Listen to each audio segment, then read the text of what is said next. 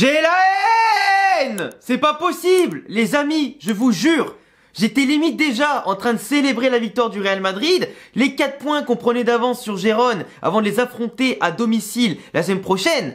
Mais là, j'ai les boules! Mais j'ai les boules! Mais t'imagines pas comment! Encore quand c'est toi qui fais le braquage, quand t'es dominé, tu marques à la fin, t'es content. Mais quand on te le fait, le braquage? Mais la vie je comprends exactement tout ce que subissent les adversaires qu'on remonte à chaque fois. Parce que là, vraiment, l'Atlético Madrid, on les a, mais démolis. Footballistiquement, tactiquement, physiquement, techniquement, on les a broyés chez nous.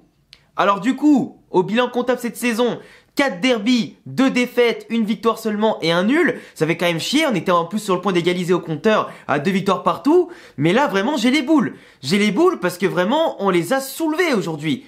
On avait une défense remaniée avec Carvaral défenseur central en mesurant 1m73. T'avais Lucas Cafu Vasquez ce soir, arrière droit qui a fait un match de titan.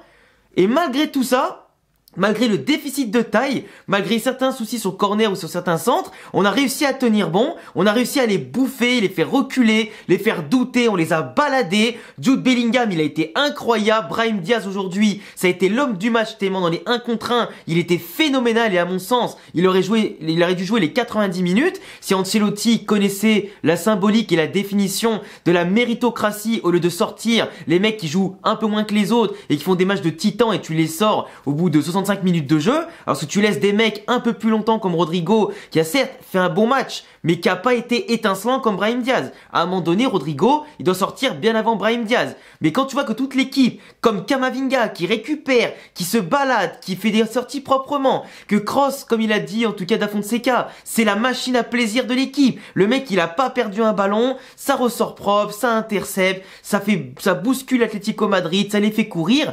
C'était phénoménal ce soir. Aujourd'hui, t'as aucun Madrilène qui a mal joué dans l'absolu. Dans l'interception Nacho, en l'absence de Rudiger, il était pas mal, même si c'est vrai que sur le corner avec le but refusé à Savic, il était à la ramasse en étant derrière lui, au lieu de le bloquer en étant avant lui sur le saut. Et heureusement, et d'ailleurs de manière légitime, que le but a été refusé à l'Atletico pour un Saul qui a fait un écran digne du basket sur Lunin dans la surface en étant hors jeu. Parce que non seulement il fait action de jeu sur Lunin, il l'empêche de sortir, mais en plus limite il va lui twerker dessus, tu vois. Donc au bout d'un moment, moi au début j'avais pas vu qu'il y avait hors jeu, et comme d'habitude je disais que comme par hasard en début de seconde mi-temps, on prend un but contre l'Atlético. Heureusement, ils n'ont pas profité euh, des hors enfin des corners, etc., des coups francs pour profiter de leur euh, bonus de taille par rapport à nous qui étaient bien petits euh, ce soir. Mais globalement, avec leur jeu qui nous a mis bien dans la mi-temps, on a pu repartir proprement, redominer comme en première mi-temps tout ça, malgré un petit passage à vide, je pense en première mi-temps qui a peut-être duré maximum 5-10 minutes. Mais globalement, sur l'ensemble du match, on a largement dominé. L'Atlético Madrid n'a rien proposé ce soir.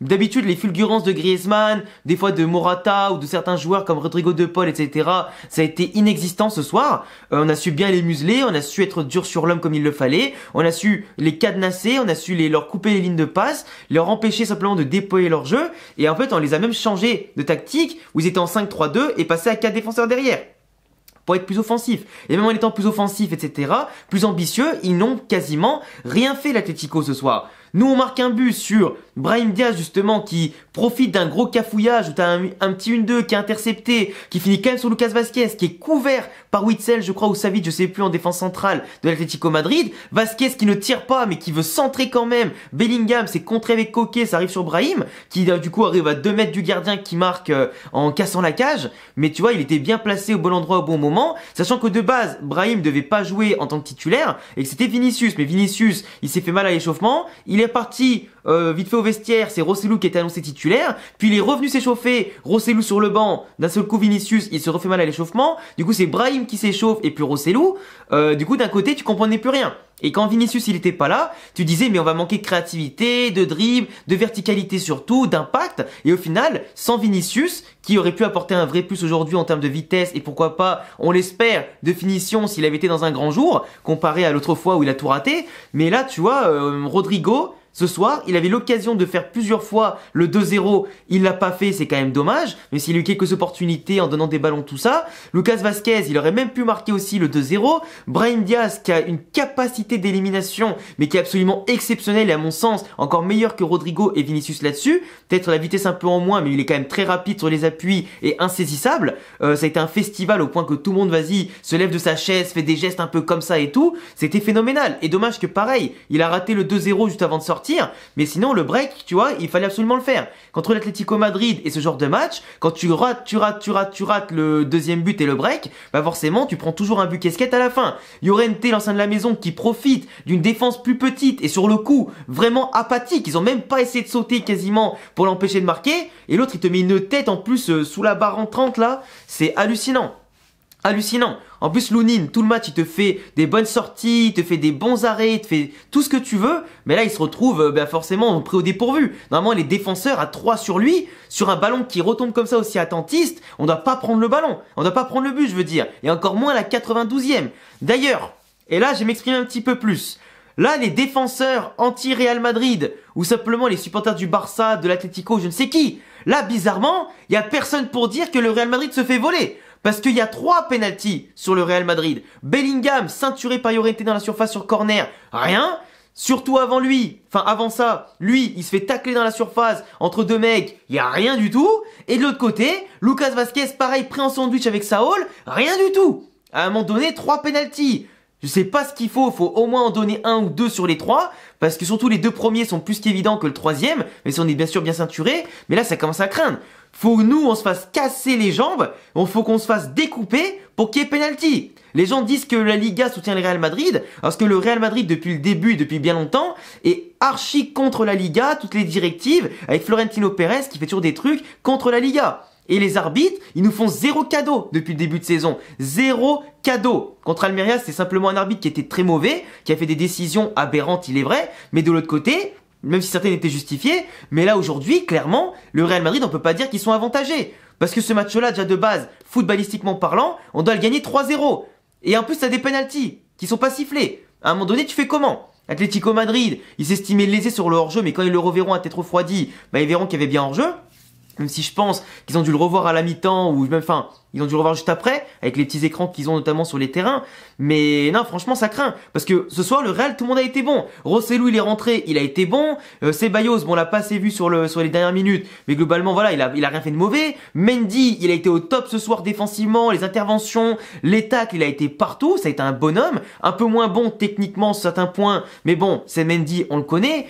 Euh, après, voilà, y a, tout le monde a été bon ce soir. Tout le monde a été bon dans l'absolu. Donc quand t'as un Real Madrid qui fait un bon football, qui fait quoi Atlético Madrid, qui perd fort les lignes, qui gâche trop d'occasions, et qui en plus en procure énormément, et qui est solide, etc. derrière, ah ça me fait chier. Ça me fait chier. Franchement, je vous le dis, ça me fait chier. Ce soir, il y a la seule analyse, c'est le Real Madrid a été très très fort. On a pris du plaisir à mater ce Real Madrid là.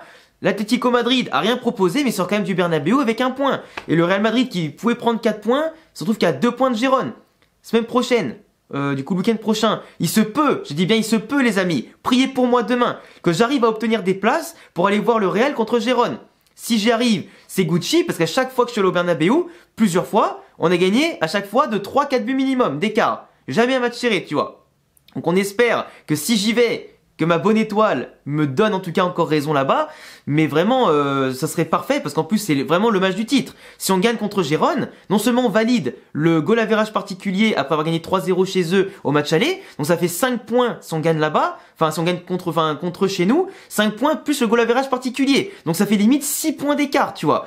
Euh, donc au bout d'un moment, le titre, il aurait pu jouer déjà ce soir aussi parce que tu gagnais ce soir 4 points, puis tu gagnais contre eux, ça faisait 7 points plus 8, enfin plus 1, ça faisait 8 avec le goal average particulier mais là, vraiment, euh, c'est dommage. Mais tu me diras, ça donnera encore plus de sel au match de, ce week-end contre Gérone. Ça donnera encore plus de sel. Et si j'y vais, ça sera encore plus de pression. Après, j'espère non pas non plus un match où on se fait peur. Et pourquoi pas à la limite pour côté épique, une remontada. Mais si on peut gagner de manière ample, méritée et vraiment tranquille comme au match aller, je vais pas me faire prier non plus. Moi, ce que je veux voir, c'est des buts et des joueurs. En espérant que Vinicius, au passage, sera très vite remis de son pépin. Il s'est échauffé pendant un moment, mais je pense qu'Ancelotti voulait absolument pas forcer. Mais en tout cas, euh, Atlético Madrid, très déçu de leur attitude ce soir. en termes de jeu, tout ça. Et le Real, bah, je pense qu'il pouvait pas faire mieux, dans tous les cas. Enfin bref, je vous laisserai me dire en commentaire, les gars, qui est pour vous l'homme du match Pour moi, c'est Brahim Diaz, hein, level ballon d'or, level stratosphérique. En tout cas, c'est mon chouchou de l'équipe et ça, vous le savez très bien. J'étais le premier à monter dans le train de l'affaire Brahim au Real Madrid et son passage au Milan AC lui a vraiment fait du bien. Et clairement, c'est moi qui conduis le train. Donc montez tous, les gars, parce que la hype avec lui, elle est phénoménale. Et après, voilà, t'avais aussi Bellingham, Camavinga, Carvaral, qui a très bien joué pour un arrière droit qui joue défense centrale, euh, avec en plus un déficit de taille. Donc franchement, bravo. Il y a plusieurs hommes du match limite. Donc j'attendrai les vôtres en commentaire. N'hésitez pas à vous abonner, cocher la cloche, mettre le petit pouce bleu, il y a tous mes réseaux en description. Et même si on est déçu, c'est pas grave, on se dit à bientôt pour d'autres vidéos. Ciao les frères.